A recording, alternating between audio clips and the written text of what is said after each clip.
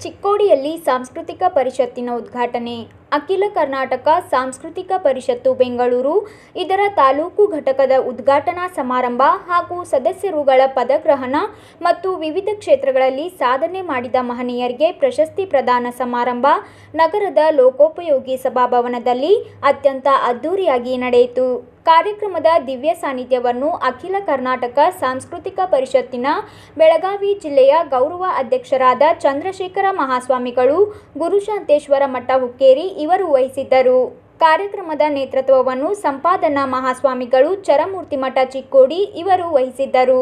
ಈ ಕಾರ್ಯಕ್ರಮಕ್ಕೆ ವಿಶೇಷ ಆಹ್ವಾನಿತರಾಗಿ ಆಗಮಿಸಿದ್ದ ಆಸ್ಟ್ರೇಲಿಯಾ ದೇಶದಲ್ಲಿ ಕನ್ನಡ ಸಂಘಟನೆ ಮಾಡುತ್ತಿರುವ ಶಿವಾನಂದ್ ಮರಿಗುದ್ದಿ, ಖ್ಯಾತ ಕನ್ನಡ ಸಂಘಟಕರು ಹಾಗೂ ಅವರ ಧರ್ಮಪತ್ನಿಯಾದ ಶ್ರೀಮತಿ ಗೀತಾ ಶಿವಾನಂದ್ ಮರಿಗುದ್ದಿ, ಖ್ಯಾತ ಸಾಹಿತಿಗಳಿಗೆ ವಿಶ್ವಚೇತನ ಪ್ರಶಸ್ತಿ ನೀಡಿ ಸನ್ಮಾನಿಸಲಾಯಿತು.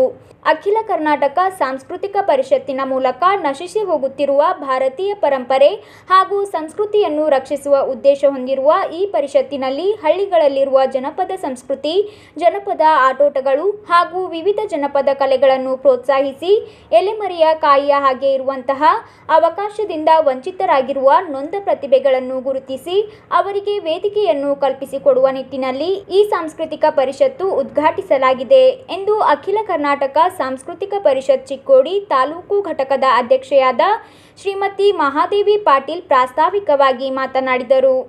ಶಿವಾನಂದ್ ಮರಿಗುದ್ದಿ ಅವರು ಮಾತನಾಡುತ್ತಾ, ಈ ಸಾಂಸ್ಕೃತಿಕ ಪರಿಷತ್ತನ್ನು ವಿಶ್ವ ಮಟ್ಟದಲ್ಲಿ ಬೆಳೆಸುವ ಸಂಕಲ್ಪ ಮಾಡಬೇಕೆಂದು ಅದಕ್ಕೆ ನಾನು ಸದಾ ನಿಮ್ಮ ಜೊತೆಗೆ ಇರುತ್ತೇನೆ ಎಂದು ಹೇಳಿದರು. ನಮ್ಮ ಗುರುಗಳು ಶ್ರೀಗಳು ಹೇಳಿದ್ರಂದ್ರೆ, ಯಾವುದು ಅಸಾಧ್ಯತೆಯೋ ಅದು ಸಾಧ್ಯವಾಗುತ್ತೆ. ಅಸಾಧ್ಯ ಅಂತ ಅವ್ರ ಡಿಕ್ಷನರಿಯಲ್ಲಿ ಇಲ್ಲವೇ ಇಲ್ಲ. ಅದು ಧರ್ಮದ ಕಾರ್ಯ ಆಗಲಿ, ಸಂಘದ ಕಾರ್ಯ ಆಗಲಿ, ಭಾಷೆಯ ಕಾರ್ಯ ಆಗಲಿ, ಸಂಸ್ಕೃತಿಯ ಕಾರ್ಯ ಆಗಲಿ, ಯಾವುದೇ ಕಾರ್ಯ ಆದ್ರೂ ಅವರಂಥ ಗುರುಗಳು ನಮ್ಮ ಹಿಂಭಾಗ ಇದ್ದಾರೆ ಅಂತೇಳಿ ನಾವು ಏಳು ಸಮುದ್ರ ದಾಟಿ ಆಸ್ಟ್ರೇಲಿಯಾ ನಗರದಲ್ಲಿ ಇವತ್ತಿಗೆ ನಲ್ವತ್ತು ವರ್ಷ ಆಯಿತು ಕನ್ನಡ ಸಂಘ ಆಗಿ. ಸಿಡ್ನಿ ಕನ್ನಡ ಸಂಘ ಸ್ಥಾಪಿಸಿ ನಲ್ವತ್ತು ವರ್ಷ ಆಯಿತು. ಅಷ್ಟರ ಅಷ್ಟರವರೆಗೆ ನಾವು ಕನ್ನಡ ಭಾಷೆ, ಕನ್ನಡ ಸಂಸ್ಕೃತಿ, ಕನ್ನಡ ನಡೆ, ನುಡಿ, ಊಟ, ತಿಂಡಿ, ಜಾನಪದ ಸಾಹಿತ್ಯ, ಯಕ್ಷಗಾನ, ನೀವು ಹೇಳಿ. ಅದೊಂದು ಒಂದು ವೈಡರ್ ಆಡಿಯನ್ಸ್ ಅಂತಲ್ಲ, ಜಗಕ್ಕೆ ಪ್ರಯತ್ನಿಸುವ ಪ್ರೆಸೆಂಟ್ ಮಾಡುವ ಪ್ರಯತ್ನವನ್ನು ನಾವು ಮಾಡ್ತಾ ಇದ್ದೇವೆ. ಈಗ ಈಗ ಸ್ಥಾಪಿಸ್ತಿರುವ ಈ ಅಖಿಲ ಕರ್ನಾಟಕ ಸಾಂಸ್ಕೃತಿಕ ಪರಿಷತ್ ಕರ್ನಾಟಕ ರಾಜ್ಯದ್ದು ಈ ಸ್ಥಾಪಿಸುವಾಗ ನಮ್ಮ ಹಿಂಭಾಗ ಹಿಂಬಲು ಆಗಿ ಇಬ್ಬರು ಗುರುಗಳಿದ್ದಾರೆ ಹುಕ್ಕೇರಿ ಶ್ರೀಗಳು ರಸುನಿ ಸಂಪಾದನಾ ಮಠದ ಶ್ರೀಗಳು.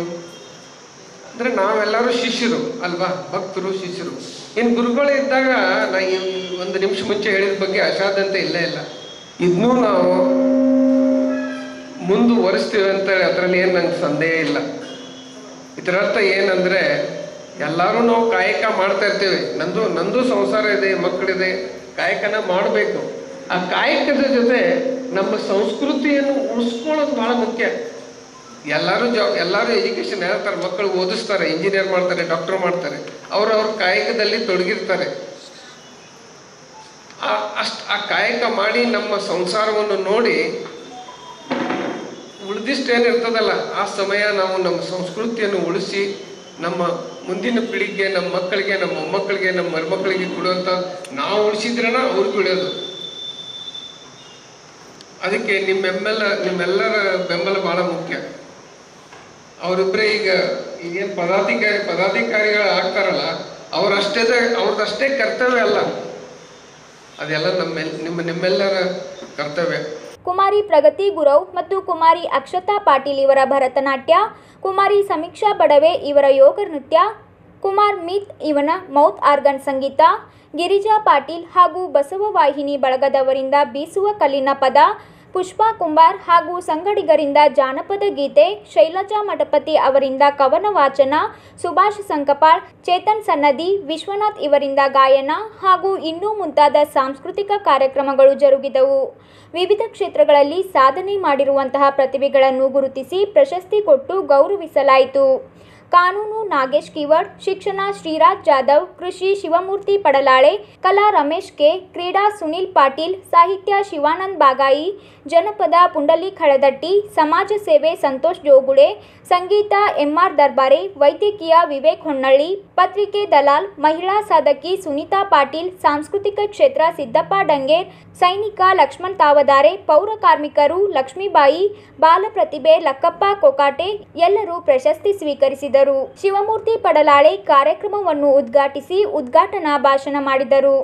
ಕನ್ನಡ ಸಾಂಸ್ಕೃತಿಕ ಪರಿಷತ್ತಿನ ಅಧ್ಯಕ್ಷರಾದ ಸುರೇಶ್ ಉಕಲಿ ಗುರುಗಳು ಕನ್ನಡ ಸಂಸ್ಕೃತಿ ಹಾಗೂ ಸಾಹಿತ್ಯದ ಕುರಿತಾಗಿ ಉಪನ್ಯಾಸ ಮಾಡಿದರು. ಶ್ರೀಪಾದ್ ಕುಂಬಾರ್ ಮಾಜಿ ಕಸಾಪ ಅಧ್ಯಕ್ಷರು, ಶಾಂಭವಿ ಅಶ್ವತ್ಪುರ್ ಬಿಜೆಪಿ ಮಹಿಳಾ ಮೋರ್ಚಾ ಅಧ್ಯಕ್ಷರು ಚಿಕ್ಕೋಡಿ, ಜಿಎಸ್ ಬಿರಾದಾರ್ ರಾಜ್ಯ ಕಾರ್ಯದರ್ಶಿಗಳು ರವಿ ಹಂಪನವರ್, ಖ್ಯಾತ ಜವಳಿ ಉದ್ಯಮಿಗಳು ಕಾಶಿನಾಥ್ ಕುರನಿ ಕರ್ನಾಟಕ ಯುವ ಸೇನೆ ಅಧ್ಯಕ್ಷರು ಜಿಎಂ ಬಿಸಲನಾಯಕ್ ಹಾಗೂ ಸದಾಶಿವ್ ನೇಜ್ ಗೌರವ ಸನ್ಮಾನಕ್ಕೆ ಭಾಜನರಾದರು. ಅಖಿಲ ಕರ್ನಾಟಕ ಪರಿಷತ್ತಿನ ಎಲ್ಲ ಕಾರ್ಯಕಾರಿ ಸಮಿತಿ ಪದಾಧಿಕಾರಿಗಳು ಹಾಗೂ ಸದಸ್ಯರಿಗೆ ಪದಗ್ರಹಣ ಮಾಡುವ ಮೂಲಕ ರಾಜ್ಯಾಧ್ಯಕ್ಷರು ಪರಿಷತ್ತಿನ ಧ್ವಜವನ್ನು ಹಸ್ತಾಂತರಿಸಿದರು. ಲೀಲಾವತಿ ದೊಡವಾಡ್, ನಿರ್ಮಲಾ ಪೂಜಾರಿ, ಅನುರಾಧ ಬಿರಾದಾರ್, ಶೈಲಜಾ ಮಠಪತಿ ಎನ್ಜಿ ಪಾಟೀಲ್ ಇವರು ಪೂಜ್ಯರನ್ನು ಪುಷ್ಪಾರ್ಪಣೆ ಮಾಡುವ ಮೂಲಕ ಸ್ವಾಗತಿಸಿದರು. ಶಿವಲೀಲಾ ಹಿಪ್ಪರಗಿ ಎಲ್ಲ ಅತಿಥಿಗಳನ್ನು ಪರಿಷತ್ತಿನ ಪರವಾಗಿ ಕಾರ್ಯಕ್ರಮಕ್ಕೆ ಸ್ವಾಗತಿಸಿದರು.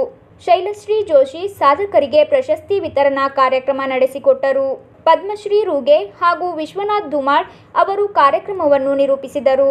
ಪಾಯನ್ನವರ್ ಗುರುಗಳು ಮಾರ್ಗದರ್ಶನ ಪರ ನುಡಿಗಳನ್ನಾಡಿದ್ದರು ಶಿವಾನಂದ ಮರಿಗುದ್ದಿ ಅವರು ಮಾಡ್ತಾ ಇದ್ದಾರೆ. ಒಮ್ಮೆ ಜೋರಾಗಿ ಚಪ್ಪಾಳೆ ತಟ್ಟುವುದರ ಮುಖಾಂತರ ಅವರನ್ನು ಅಭಿನಂದಿಸಿದರು ಜೊತೆಗೆ ಇನ್ನೊಂದೇನಂತಂದ್ರೆ ನೆನಪಲ್ಲಿಟ್ಕೊಳ್ಳಿ ಕನ್ನಡ ಸಂಘ ಶಿಮ್ಮಿ ಕನ್ನಡ ಸಂಘ ಹುಟ್ಟುಕೊಂಡು ನಲವತ್ತು ವರ್ಷ ಆಯ್ತು, ನಲವತ್ತು ವರ್ಷ. ನಾವಷ್ಟ ಇಲ್ಲಿ ನಾವೆಲ್ಲ ನಮಗ ಪಕ್ಕ ಇಂಗ್ಲಿಷು ಬರಂಗಿಲ್ಲ, ಪಕ್ಕ ಕನ್ನಡನೂ ಬರವಲ್ದು.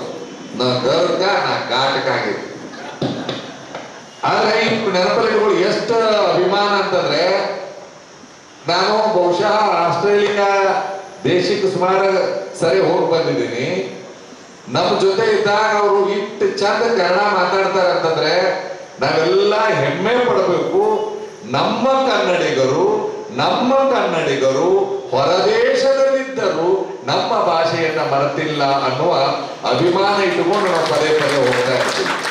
ನಾ ಎಲ್ಲಾ ದೇಶ ವಿದೇಶ ಸುತ್ತಿದ್ರು ಕನ್ನಡ ಮರತ್ರಿ ಅಂತಂದ್ರೆ ನನ್ನ ಧಿಕ್ಕಾರ ಮೊದಲು ಇರ್ತದೆ. ಆದ್ರೆ ಇವತ್ತು ಶಿವಾನಂದ ಮರಿಗುತ್ತಿ ಅವರು ಬಹಳ ಒಳ್ಳೆಯ ಕೆಲಸವನ್ನ ಮಾಡ್ತಾ ಇದ್ದಾರೆ. ಹಾಗೆ ಶ್ರೀಮತಿ ಗೀತಾ ಶಿವಾನಂದ ಮರಿಗುತ್ತಿ ಅವರು ಬಹುಶಃ ಇನ್ನೊಂದೇನಂತಂದ್ರೆ ಅವರ ಆಶು ಕವಿಗಳು. ಅವ್ರಿಗೇನು ಇನ್ನೂ ನಿಮಗೆ ಗೊತ್ತಿರ್ಲಿ, ಅವರ ಮಾತೃಭಾಷೆ ಮರಾಠಿ ಅನ್ಸತ್ತಲ್ಲ? ಮರಾಠಿ ಆದ್ರೆ ಅದ್ರ ಜೊತೆ ಜೊತೆ ಅವರ ಕನ್ನಡದ ಬಗ್ಗೆ ಬಹಳ ವಿಶೇಷವಾಗಿ ಖಾನಾಪುರ ಅವ್ರದ್ದು. ಅದ್ರ ಜೊತೆಗೆ ಇನ್ನೊಂದೇನಂತಂದ್ರೆ ಇವತ್ತು ಅವ್ರು ಎಲ್ಲಾ ಸುಮಾರು ಕವನಗಳನ್ನ ಬರೆದಿದ್ದಾರೆ. ಹಾಗೇನೆ ಯೋಗಾನು ಕೂಡ ಕಲಿತಾ ಇದ್ದಾರೆ ಅವರು. ಈಗ ಒಂದು ಯೋಗ ಇಂಟರ್ನ್ಯಾಷನಲ್ ಸ್ಕೂಲ್ ನಮ್ಮ ಮೈಸೂರಿನಿಂದ ಪ್ರಮುಖ ಪೂಜ್ಯರು ಅಲ್ಲಿಯೂ ಕೂಡ ಯೋಗವನ್ನು ಕಲಿತಾ ಇದ್ದಾರೆ. ಇದರಿಂದ ನಾವು ಕಲಿಬೇಕಾಗಿರೋದು ಏನಂತಂದ್ರ ಸುಮ್ಮನೆ ನಾವು ಸೋಗು ಮಾಡೋ ಬದಲು ನಮ್ಮ ಸಂಸ್ಕೃತಿಯನ್ನು ಉಳಿಸ್ಕೊಳ್ಳೋದು ಚಲೋ. ಈ ಕೆಲಸ ಇವತ್ತು ವಿಶ್ವಚೇತನ ಪ್ರಶಸ್ತಿಯನ್ನ ನೀಡುವುದರ ಮುಖಾಂತರ ಮನೋಹರ ನಾಯ್ಕ ಅವರು ಮತ್ತು ಅನ್ನಪೂರ್ಣ ಹಿರೇಮಠ ಅವರು, ಮಹಾದೇವಿ ಪಾಟೀಲ್ ಅವರು ಒಳ್ಳೆ ಕೆಲಸವನ್ನ ಮಾಡಿದ್ದಾರೆ ಅನ್ನೋದನ್ನ ಈ ಸಂದರ್ಭದಲ್ಲಿ ಹೇಳ್ತಾ. ರಾಜ್ಯಾಧ್ಯಕ್ಷರಾದ ಮನೋಹರ್ ನಾಯಕ್ ಅವರು ಅಧ್ಯಕ್ಷೀಯ ಪರ ನುಡಿಗಳನ್ನು ಆಡಿದರು ಸಂಸ್ಕೃತಿಯೇ ಸತ್ಯ, ಸಂಸ್ಕೃತಿಯೇ ಉಸಿರು, ಸಂಸ್ಕೃತಿಯೇ ನಿತ್ಯ ಎಂಬ ಘೋಷವಾಕ್ಯದಡಿಯಲ್ಲಿ ಪರಿಷತ್ತು ಸಂಸ್ಕೃತಿಯನ್ನು ಉಳಿಸಲು, ಬೆಳೆಸಲು ಸದಾ ಸನ್ನದ್ದು ಎಂದು ತಿಳಿಸಿದರು. ಸದಾಶಿವ ಕೋಳಿ ವಂದಿಸಿದರು.